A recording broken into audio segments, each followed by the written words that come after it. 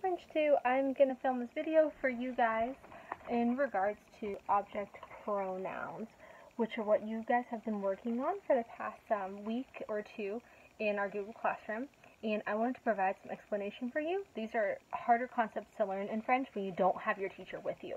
I've made some beautiful handmade slides for you. I'm going to try to show them to you so you can see them without a glare and um, explain at the same time. So here we go.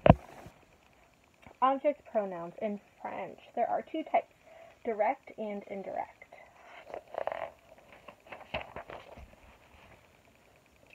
Your direct object pronouns are le, la, les, and le or l apostrophe.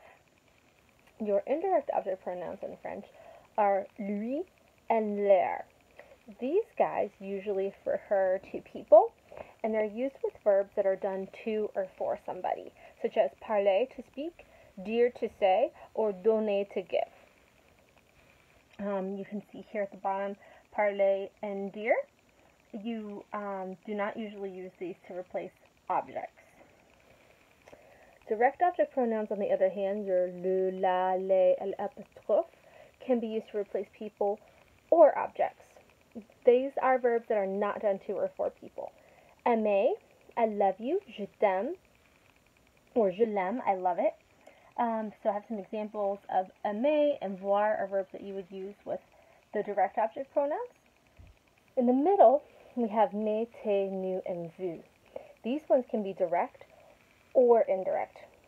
If they are indirect, they're referring to people and it's an action done to or for somebody.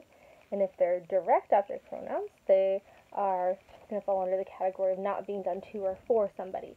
This is where je t'aime comes in. I love you. So you use this one for you, je t'aime, which means I love you. And it's not being, I know that you love them, but you're not technically doing anything to or for them. Okay, why do we have these in either language? They are to avoid repetition. They exist in our language too. For example, do you see Leah? Yes, I see her. You don't need to repeat the name Leah again. I see her replaces the word Leah. Leah and her are your object pronouns. In this case, it is direct because nothing is done to or for Leah. You can see that clearly there. Um, in French, it would look like vois-tu Leah? Oui, je la vois. Yes, I see her um, because Leah